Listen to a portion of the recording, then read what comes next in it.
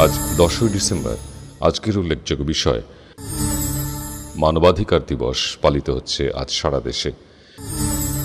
খ্যাতনামা ক্রিকেটার ও ফুটবলার নির্মল চট্টোপাধ্যায়ের মৃত্যু। অভিনেতা অশোক কুমারের মৃত্যু। স্বাধীনতা সংগ্রামী প্রফুল্ল চাকির জন্ম। স্বাধীনতা সংগ্রামী প্রফুল্ল চাকি জন্মগ্রহণ করেন দশই ডিসেম্বর, আঠারোশো অষ্টআশি খ্রিস্টাব্দে। মৃত্যু দোসরা মে উনিশশো আট খ্রিস্টাব্দে।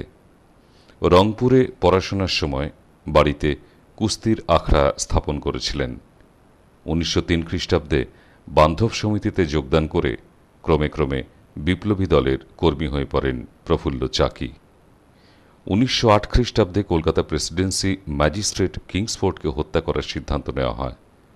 কিংসফোর্ড মজফ্ফরপুরে বদলি হলে তাকে হত্যা করার উদ্দেশ্যে তিনি ও ক্ষুদিরাম বসু মজফ্ফরপুর যান এবং তিরিশে এপ্রিল উনিশশো আট খ্রিস্টাব্দের সন্ধ্যায় একটি ফিটন গাড়িকে কিংসফোর্ডে গাড়ি মনে করে তার উপর বোমা ছোড়েন আর ওই গাড়িতে মিসেস ও মিস কেনেডি ছিলেন, তারা নিহত হয়েছিলেন।